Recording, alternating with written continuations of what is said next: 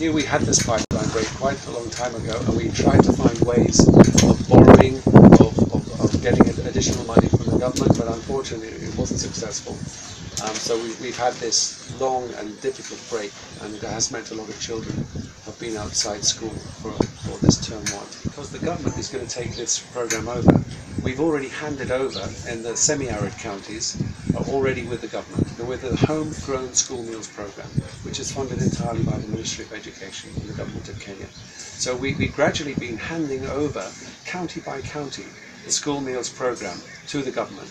Um, Turkana is still uh, receiving assistance in kind from WFP with a lot of support from the US government. Uh, but we are handing over the counties to the government.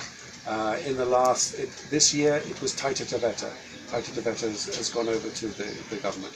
Uh, the year before it was uh, Samburu, the year before that is Isiolo.